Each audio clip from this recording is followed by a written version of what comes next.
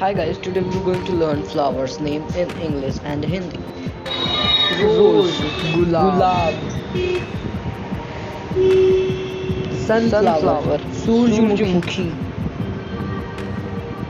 night, Night blooming jasmine, ratrani, jasmine, chameli, marigold, genda,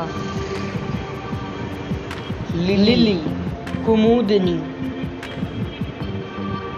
lotus, kamal, daisy, gulbahar,